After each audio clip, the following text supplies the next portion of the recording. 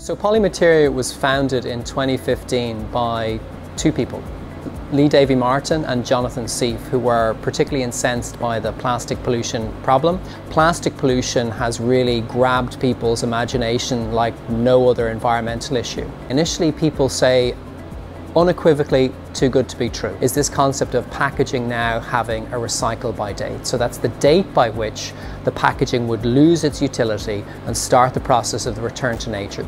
I'm Niall Dunne, Chief Executive Officer for Polymateria.